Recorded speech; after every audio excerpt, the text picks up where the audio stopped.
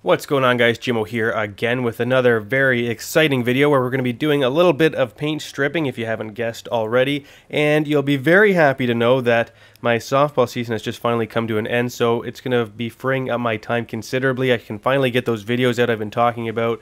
I got like about 10 or so filmed already that I just haven't had time to edit. So they should be coming out very shortly so you can look forward to that. So let's get into this one here which I did today which is stripping a hood. So the first thing we're going to be doing is buzzing over it with some 40 grit sandpaper. That's just going to kind of scuff it up and give our paint stripper something to sort of bite into and help kind of get right in there and lift it a lot more efficiently. I've done it both ways. It seems to work a heck of a lot better if you rough it up first. So what we're basically going to do is blob it on with a brush. Uh, Cody there should be wearing some gloves because it's going to sting like hell when he gets it on his fingers.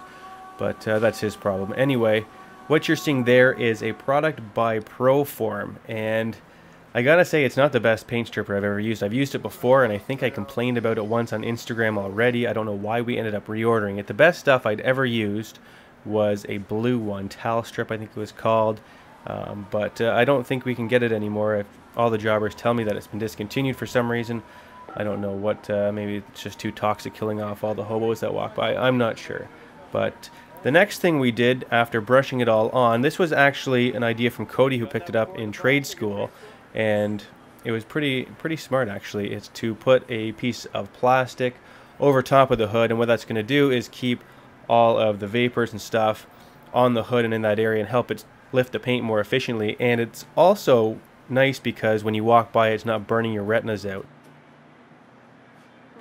So as you can see, it didn't really lift the paint as efficiently as we would have liked it to. And I'm going to fault that because that paint stripper is garbage and I don't know why we keep re reordering it. But anyway, luckily we had this stuff that I meant to use from the very beginning, which is from Dominion, which is a clear paint stripping product. And it works a lot better, not as well as the blue stuff did, but you'll see in a sec that it actually lifts the paint, which is kind of a quality that you really look for in a paint stripper. And normally you have to let this stuff kind of sit on there for about 15 to 20 minutes, sometimes a bit longer, but what you don't want to do is let this stuff dry. You don't want to walk away from it for a few hours and come back, or else it'll still be all caked on there and it won't come off very well. So once you let it, um, you know, let it do its thing and lift all the paint, ideally you can just scrape it off with a scraper and anything that's left behind you can sand away after. So the times that you might use this compared to sanding would be when you have some sort of defect with the coating itself and you know that the adhesion is compromised or the paint coating just it needs to come off before you can put anything else on top.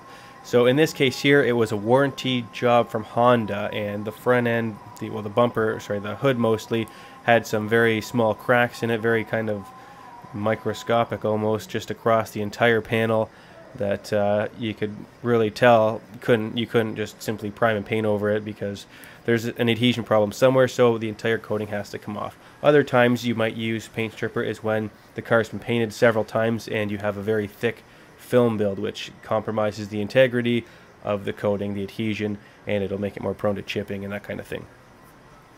And as far as the time comparison goes you're probably looking between one to two hours of sanding versus 30 to 45 minutes for the paint stripper to do its thing, and during most of that time, you can be off doing something else.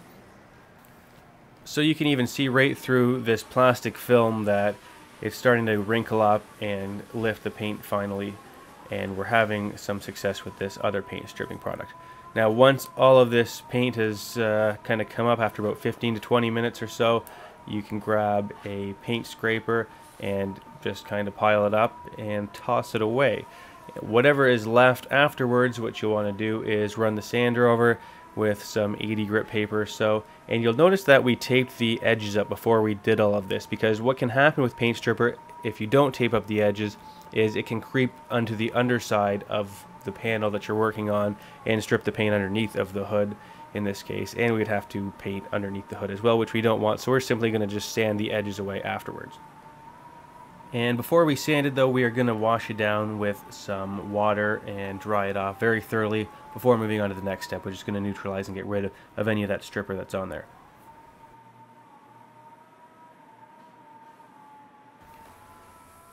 So we're just going to use some 80 grit sandpaper here to get rid of any paint that's still left, usually or mostly just around the edges, but there's sometimes a few spots that your stripper maybe didn't uh, pick up and it usually comes off fairly quick with some 80, but we'll go over the entire thing with some 80 real quick and then clean it off and it's ready for primer. Now, I'm not going to get too in-depth with the priming application. If you need more information on that, have a look at my channel. I've got a ton of other videos that can definitely help you out with picking primers and starting with bare metal and working your way up. And I think that's going to be it for this time. So don't forget to subscribe because like I said, I got a ton of other videos, new videos coming very soon. And check me out on Facebook. I'll have a link somewhere on the screen here, hopefully right now. And before you go, let me just leave you guys with some food for thought. Have a look at this bumper here.